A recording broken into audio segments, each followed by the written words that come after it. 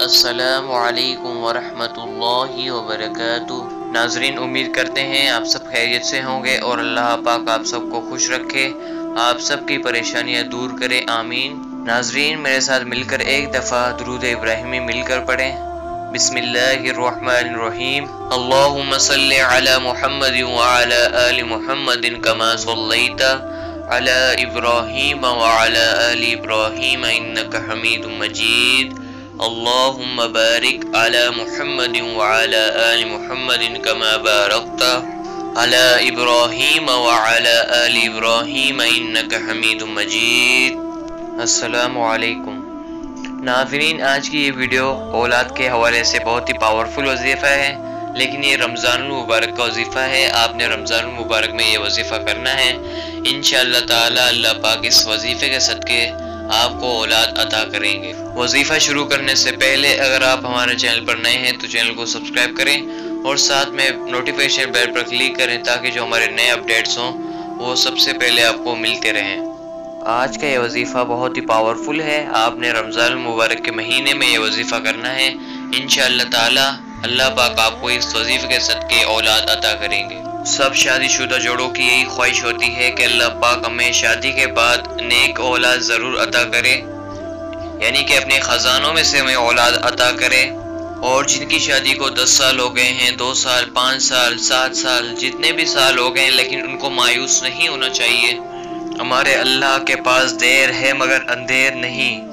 जैसा कि हमने कल आपको दिखाया था कि अल्लाह पाक ने उनको दस शादी के दस साल बाद उनको अल्लाह पाक ने चार बेटे दिए जो कि हमने उनको वजीफ़ा उन लोगों ने ये वजीफ़ा किया अल्लाह पाक ने उन्हें उसी साल यानी उन लोगों ने वजीफ़ा किया अल्लाह ताला ने उसी साल उनको चार बेटे अता किए। उन्होंने बेटे के नाम रखे अबू बकर उमर उस्मान और अली सुबहान अल्लाह अल्लाह सबको औलाद दे, आमीन। ये रमज़ान मुबारक का वजीफ़ा है। आपने करना क्या है? ये वजीफ़ा, ला मुहम्मद वसल्लम, कलमा तजीबा का वजीफ़ा है। इन इस वजीफ़े के सदक़े अल्लाह पाक आपको ज़रूर साहिब औलाद कर देंगे। आपने वजीफ़ा क्या करना है? सबसे पहले आपने शहरी से तकरीबन 10 से 15 मिनट पहले उठकर आपने तहजद की नमाज़ अदा करनी है। आपने दो रकात नमाज़ तहजद की नमाज़ अदा करनी है। जब आप नमाज़ से फारिग हो जाएँगे तो उसके बाद आपने ये वजीफ़ा करना है। वजीफ़ा क्या करना है? आपने सबसे पहले आपने अव्वल सात मरतबा दरूद इब्राहिमी पढ़ना है। यानी नमाज़ तहजद से फारिग होने के बाद अव्वल आपने सात मरतबा दरूद इब्राहिमी पढ़ना है, और उसके बाद आपने एक हज़ार मरतबा कलम तयबा ला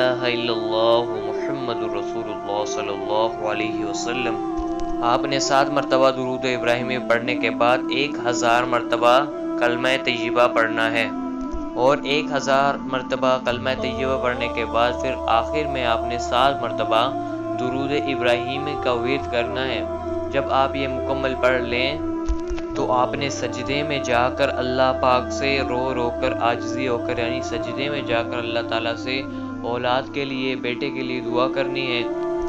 रो रो कर दुआ करनी है, रो रो कर खूब दुआएँ मांगनी है औलाद के लिए।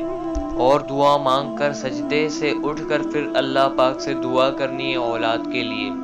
जब आप दुआ ख़त्म करेंगे, उसके बाद आप सहरी कर सकते हैं और सहरी करने के बाद आपने नमाज़ फजर अदा करनी है। नमाज़ फजर के बाद आपने फिर अव्वल सात मरतबा दरूद इब्राहिमी और उसके बाद एक हज़ार मरतबा कलम तयबा पढ़ना है और आखिर में फिर सात मरतबा दरूद इब्राहिमी। यानी कि आपने हर नमाज़ के बाद ये वजीफ़ा करना है। रमज़ान मुबारक में हर नमाज़ के बाद ये वजीफ़ा करना है। नमाज़ तहज से शुरू करना है, नमाज़ ईशा तक पाँच नमाजों के बाद आपने ये वजीफ़ा करना है। और ये वजीफ़ा आपने सात दिन तक करना है, यानी सात रोज़ों के दरमियान आपने ये वजीफ़ा करना है। किसी भी रोज़े से आप शुरू कर सकते हैं इस वजीफ़े को, यानी कि आपने तहजद में दो रकात नमाज़ पढ़े थे, उसके बाद आपने ये वजीफ़ा किया था, और फजर के बाद, फजर की नमाज़ के बाद आपने ये अमल करना है। इसी तरह हर नमाज़ के बाद ये अमल करके सजदे में जाकर दुआ करनी है। और सजदे से उठ कर दुआ करनी है और इफ्तारी के वक्त ख़ास दुआ करनी है, ख़ास। यानी इफ्तारी के वक्त रोज़ा इफ्तार करते वक्त आपने अल्लाह ताला से रो रो कर दुआ करनी है। या अल्लाह, तू तो अकेली ज़ात अच्छी लगती है। या अल्लाह, हम तो औलाद वाले अच्छे लगते हैं। बेशक या अल्लाह, तू ही अता करने वाला है। तेरे सिवा हमारा कौन है जो हमें अता करे? या अल्लाह, तू ही हमारी झोली भर सकता है। तेरे सिवा कौन है जो हमें औलाद दे? तू ही एक ज़ात है जो हर चीज़ पर कुदरत रखती है। या अल्लाह, तू ही है जिसे चाहे अता करे और जिसे चाहे महरूम रखे, या अल्लाह। हम तेरे ही बंदे हैं, तुझसे ही मदद चाहते हैं अल्लाह, तू ही देने वाला है बेशक। तेरे पास देर है, मगर अंधेर नहीं। या अल्लाह, हमारे प्यारे नबी सल्लल्लाहु अलैहि वसल्लम के सदके अल्लाह। हमको औलाद नरीना अता करे अल्लाह। या अल्लाह, हमें नेक औलाद अता करे अल्लाह। बेशक अल्लाह तू हमें अता करेगा। आपने रो रो कर आजी के साथ अल्लाह ताला से दुआ करनी है औलाद के लिए हर नमाज़ के बाद। पहले आपने सजदे में जाकर दुआ करनी, उसके बाद सजदे से उठकर आपने अल्लाह पाक से रो रो कर आजिज़ी के साथ दुआ करनी है। यानी आपने हर नमाज़ के बाद तहजद से लेकर इशा तक आपने हर नमाज़ के बाद अव्वल सात मरतबा दुरूद इब्राहिमी उसके बाद एक हज़ार मरतबा कलम तयबा ला वसल्लम। आपने हर नमाज़ के बाद सात मरतबा दुरूद पाक और उसके बाद एक हज़ार मरतबा कल में तयबा और आखिर में फिर सात मरतबा दरूद पाक पढ़ना है। उसके बाद आपने सजदे में जाकर अल्लाह ताला से दुआ करनी है और सजदे से उठकर बैठकर आपने दुआ करनी है। इन ताला आपने ये अमल सात रोज़े तक करना है, यानी सात दिन आपने ये अमल करना है। आप किसी भी रोज़े से शुरू कर सकते हैं। इन ताला अल्लाह पाक आपको ज़रूर ज़रूर साहिब औलाद कर देंगे। कल जो मैंने आप लोगों को बताया था कि शादी के बाद अल्लाह ताला ने, शादी के दस साल बाद अल्लाह ताला ने उनको चार बेटे अता किए थे।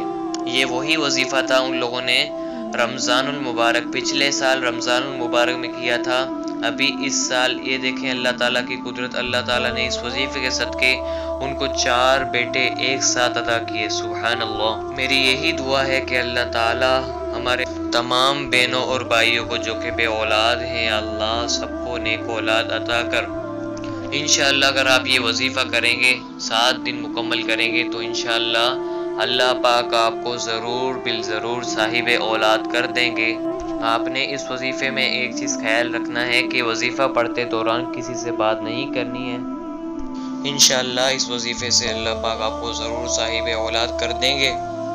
अगर आपको ये हमारी वीडियो पसंद आई तो इसको लाइक ज़रूर करें और साथ में इसको सदक़ जारिया की नीयत से ज़रूर शेयर करें ताकि तमाम मुसलमान भाई बहन इससे फ़ायदा उठा सकें और मुझे अपनी ख़ास ख़ास दुआओं में ज़रूर याद रखें। मिलते हैं इन ताला नई वीडियो में नए वजीफ़ के साथ। अल्लाह हाफिज़। अल्लाम वरहमल